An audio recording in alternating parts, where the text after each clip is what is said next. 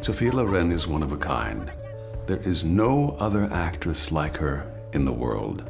Il suo problema è che essendo anche bellissima, molte volte la sua grande bellezza ha offuscato un po' la sua grande bravura, ma in realtà lei è una grandissima attrice. When you see Sophia on camera, you feel like you know her.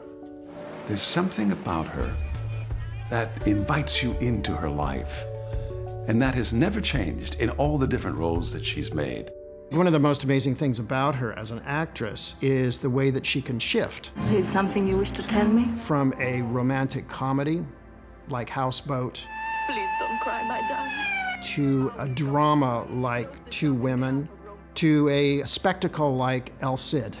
But she's capable of moving across genres and across different types of roles with a great ease that is rarely seen. I got no peace. L'inglese perfetto, la parte a memoria dalla prima all'ultima sillaba, una grandissima disciplina, oltre alla simpatia, che non è poco. A dream comes true, you don't feel sorry. There's something about Sophia Loren that you relate to. Tony. She touches something deep inside you, something very real and very human. It's a gift.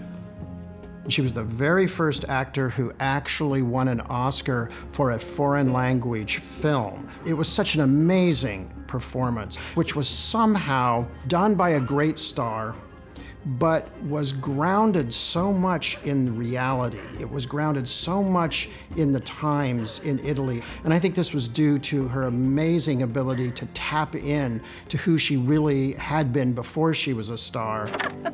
There's something about Sophia Loren that is unlike any other great star. I think it's her sense of humanity. And I think that's reflected in her work with the UN as an ambassador of goodwill. It's from her heart. And when you meet her, you know it's absolutely genuine and sincere. It's not a show. Sofia è perfetta come mamma, come nonna, come donna, come fidanzata. Sofia, Sofia è una forza della natura, dai, una meraviglia. È una conoscenza che ti allarga la vita.